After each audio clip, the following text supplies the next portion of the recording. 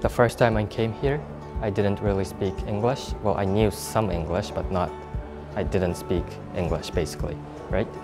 Then um, uh, there are a few EAL teachers who can help or who can support you in English and they help me significantly. Like now, it's not perfect, but I speak English. I can communicate with you now. So the EAL teachers here definitely helped me to improve my English skills and I really appreciate them.